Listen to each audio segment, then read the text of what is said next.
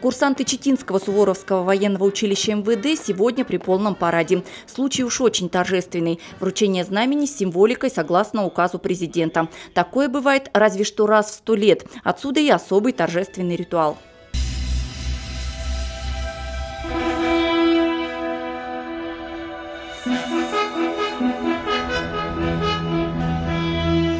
Новый символ изготавливали с учетом как дореволюционных, так и советских традиций и в строгом соответствии с канонами геральдики. Эмблема Суворовского училища, изображенная на знамени, была разработана в Чите. На лицевой стороне знамени герб России, на оборотной – Забайкальского края.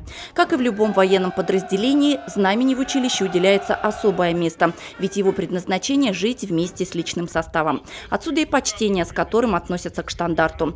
Сегодня честь нести знамя доверили Дмитрию Воросову, который по итогам всероссийского июньского слета суворовцев стал лучшим в стране. Готовились, конечно, долго, было много недочетов, которые в процессе тренировок мы исправляли. Э, конечно, присутствовало определенное волнение, но когда подали, подали команду смирно и встали уже на, вот, на этот финальный прогон. Волнение исчезло, и мы просто делали по отработанным, все по отработанным движениям. Не меньше самих курсантов волнуются и их родственники, которые приехали на торжественную церемонию не только со всего Забайкалья, но и из соседних регионов. Читинское Суворовское училище МВД единственное в Сибирском федеральном округе. Я такая счастливая вообще бабушка. Ему, ему очень нравится здесь. Вообще себя не мыслит уже в другой какой-то системе, хочу стать офицером в будущем.